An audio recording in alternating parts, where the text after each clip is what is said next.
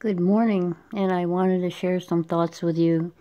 Uh, not only because of prepping, but uh, our diet has so many extra calories in it uh, um, we're either not aware of or we are aware but don't know what to do about it and not eat. Um, so this morning I was asked to make pancakes, and as usual, we put butter on them. We buy syrup that's more calories, and we use the light, but uh, it's still extra calories. And then usually a yogurt. And this little cup of yogurt is 140 calories, and that's not much. And the syrup's not much. And the pancakes, but after you add it up, it starts getting over what an average breakfast should be for uh, a lady or um, a person, a male that's uh, not doing a lot of work. So um, we thought, why not take the 140 calorie yogurt, which is uh, got some good flavor.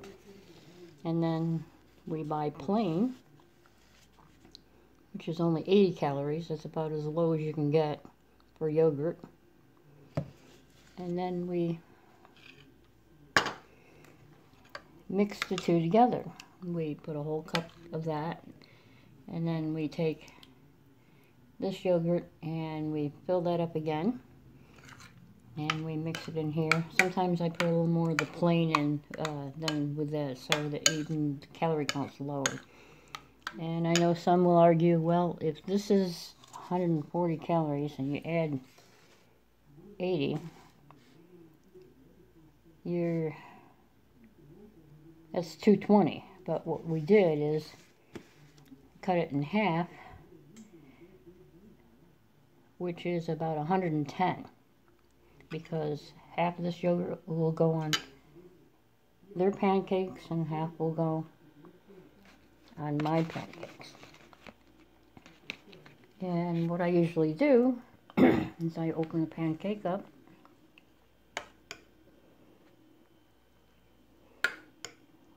put two good sized scoops on there. And sometimes we make a big one and fold it over and then you can put some fruit in there. Uh, but if you're using fruit that's in a can or something with syrup, rinse it off.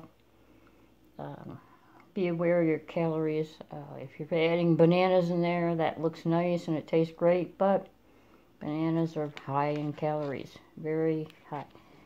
But uh, for this, we're just going to show you for the yogurt, and I stacked them like that.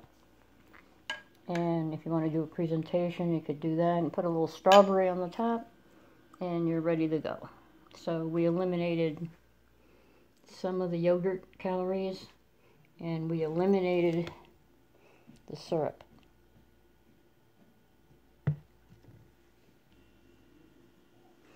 this is light syrup, so it's a hundred calories per serving, and that's about a quarter cup. So um, regular syrup is at least twice as much. So taking this out of the equation, and you know what, after a while, after a couple times of doing it, eating less sugar, you actually can taste the sweetness in the food and the flavor. So uh, that might help you be able to still have pancakes and not overdo it. Well, I'm going to take it out.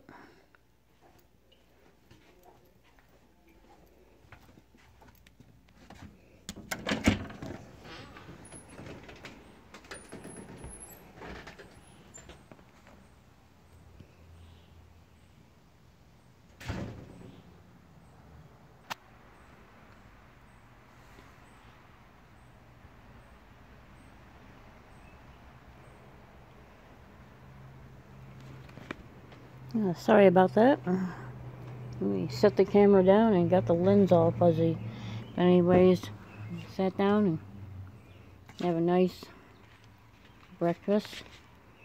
Warm and uh, yogurt lovers, this is fantastic. Um, if you're just getting used to eating yogurt, uh, it's good for your insides to give you a healthy area that you can absorb your food better like you're supposed to.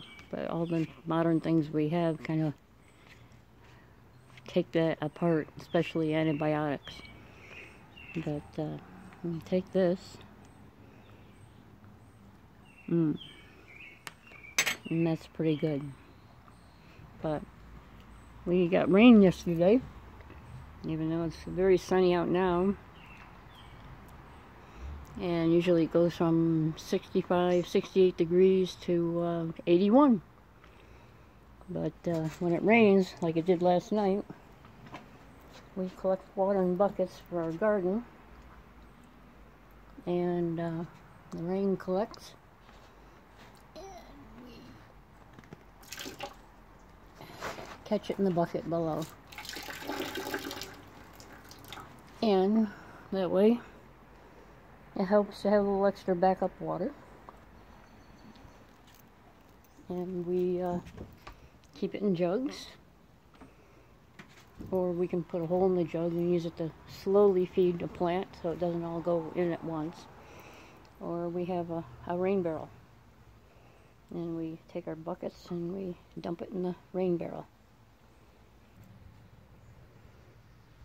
Well, taking a walk after breakfast and just taking a look at what's in the garden. Hmm. we got a volunteer here growing in our strawberry bucket and I can clean that up and put new compost so the strawberries are doing better. Uh, but I chose to leave this here and maybe I'll transplant it into the garden somewhere else. And we got raspberries and uh, these seem to have a nice smell to it. The uh, comfrey is almost done blooming and then I can collect seeds from it. And this one's gotten over three to four feet in length, some of it. So it's quite happy. The uh, chard is going to go to seed. And the tomatoes are starting to get a little color back. This one kind of turned yellow, so it probably will need some fertilizer because the heavy sudden rains really leach out soil, especially in planter buckets. But uh, I don't put holes in the bottom anymore, as I did in one of my other videos you can watch. I put the hole down near the side. Let's see. There it is. About an inch, sometimes two inches up, depending on what I'm doing. Um, that way, when it rains heavy, the extra water sits in the bottom and keeps feeding my plant instead of uh, the hole in the bottom, very bottom drains all the nutrients out with the extra water and then it dries up when the sun comes back out. And then all of a sudden your beautiful tomatoes look like they're going backwards. So uh, putting a couple holes on the side edges instead of the bottom is definitely a good thing and with deep soil. Uh, you can put milk cartons or bottles in the bottom to bring up the level so that the water basin doesn't have to be full of dirt and then put your dirt on top of it. And if the plant needs it it'll send its roots down into the water reservoir and the rest of the plant stays nice and dry. And the plants prefer it that way. It's more like nature. So and our raspberries are starting to do good.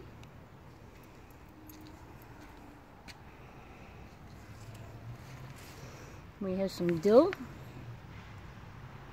I just threw the seeds in the bucket. Didn't have to make a special bed. And I can still use this bed for something else. And, uh, and amongst the uh, grass, is Shasta Daisy. And I took cuttings that took. They're rooting. You look down there, you can see one of the milk jugs has uncovered the dirt. But uh, it's not affecting the plants, but normally we keep them covered. If you want to leave it so that uh, you can add water from the bottom, you could do that. But I usually don't. I add it right on the top either way, you know, experiment, see what works for you. Different plants have different needs too. So, I found out what the uh, tree in my compost bag is, bark mulch. It's a uh, ornamental crabapple. And the crabapples are let's see, very tiny because since it's in a bag of, of uh, bark chips, it's not getting as much nutrients as it would otherwise. So this is at the stage where I could prune it nice and shape it, take off some of these bottom branches. And people plant these in their yards for ornamental because the little apples are too hard to eat.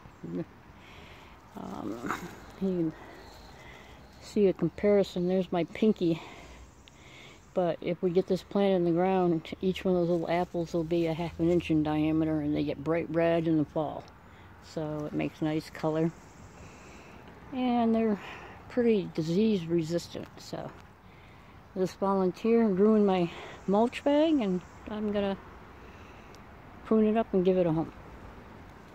I guess uh, we'll leave it at that for now. Thanks for watching and uh, hope your garden's doing well too.